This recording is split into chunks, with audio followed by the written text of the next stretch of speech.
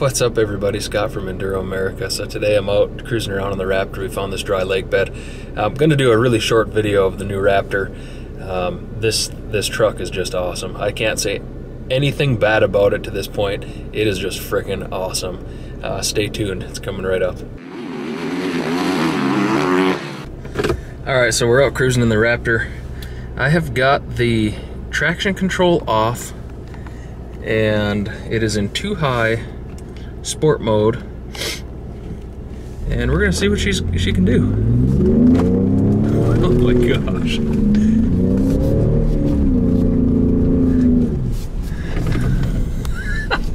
this thing is just crazy. So we're just whipping one big shitty right now.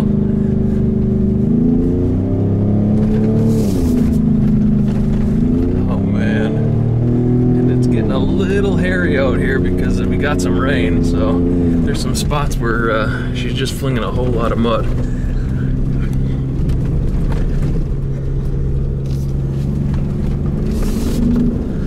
Yeah, this this truck is really cool. I have to say, um, of all the vehicles I've had, this is probably the most fun. I mean, it's just got so much power, so much torque, and uh, the suspension, everything on it. I mean, it all kind of just puts puts together one of the best packages I think that you can have in a pickup truck.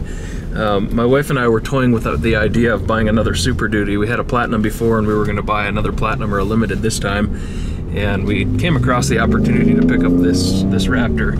And I'm so glad that we did. Um, you know, we don't tow all, all that much, and this does have an 8,000 pound towing capacity.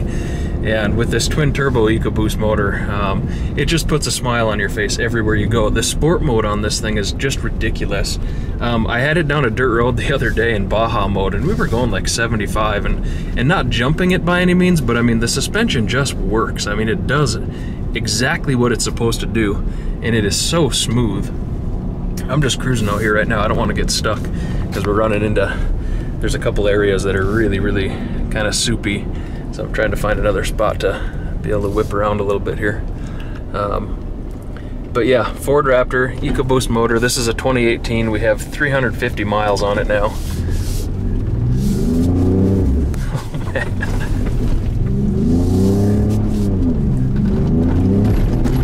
And you can hear it. I mean, it just roars.